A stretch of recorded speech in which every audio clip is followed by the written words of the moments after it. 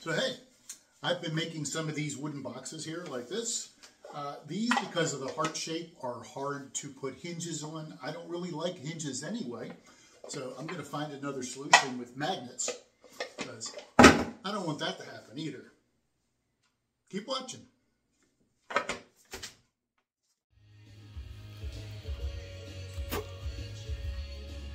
There, that's better.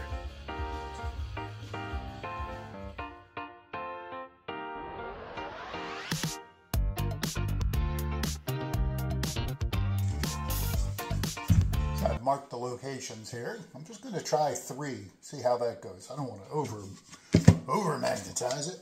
I found these teensy little magnets. That's actually two of them. So, but they're pretty strong, so I'm going to see how it works with this one, and then I'll go with the rest. I'm just going to eyeball it. But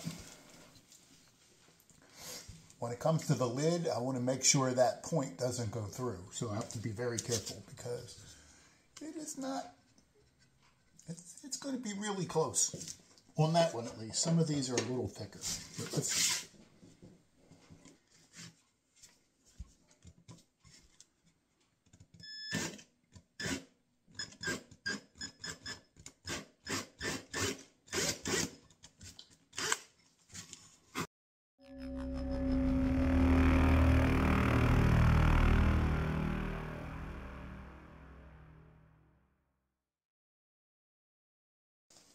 we're all going to learn together. Let's try that.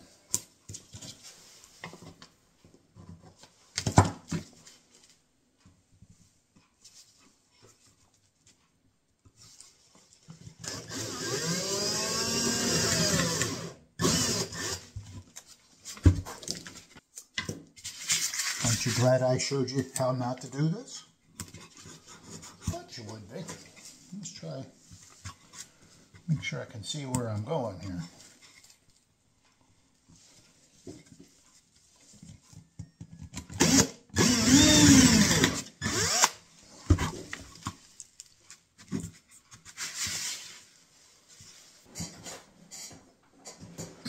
This is a 3 16 drill bit.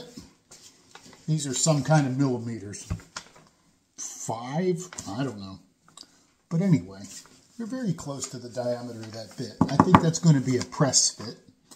Um, the point, I'm going to have to figure out how to transfer these marks, but the point I think will go through go through this. I'm going to just start a pilot hole and then use a different drill bit, probably. We'll see. Switched to a regular twist bit because it doesn't have as much of a point. Let's see how that works. Don't go too far.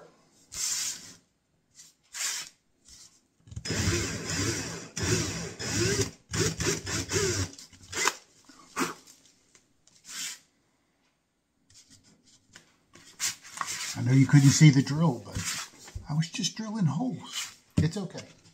So basically I just let it just kind of enter there and hopefully that's big enough. I'm gonna have to patch that. Good grief. Uh, but next time I will use the tape that worked really well. As you can see, should have thought of that from the very beginning, but I didn't. So what I'll do here is I'll figure out if these, let's just try it right here, see. I'm pretty sure they will go in there.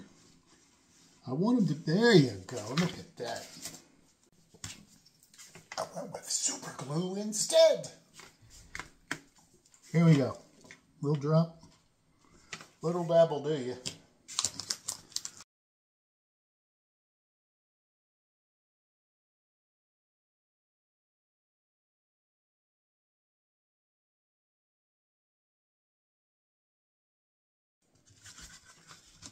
Now when we put the other side in, you have to make sure that the polarity is, is right. So we'll take care of that soon.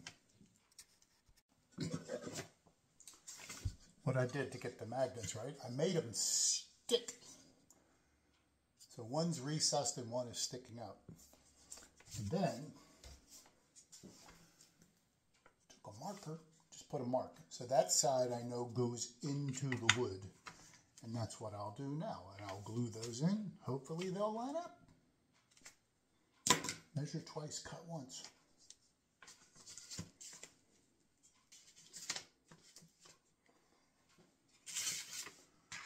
Here you are. So the black side, the, the one with the black mark on it, into the wood.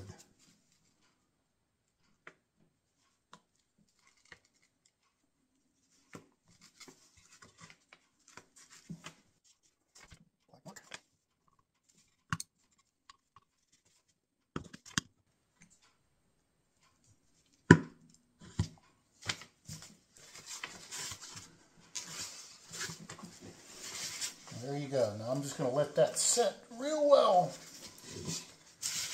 And then I'll give it a shot. Magnets like to grip. There you go. A little bit of that. The right size drill bit. Hopefully I lined them up. I have to fix that. But it'll be fine. I will get it. Um, so here's the result. This is the finished box. Um, it's got a little bit of a grip from the magnets, as you can tell. Um, it kind of holds it on there, but it's, it's better. I like it. Now the thing is, these are small magnets.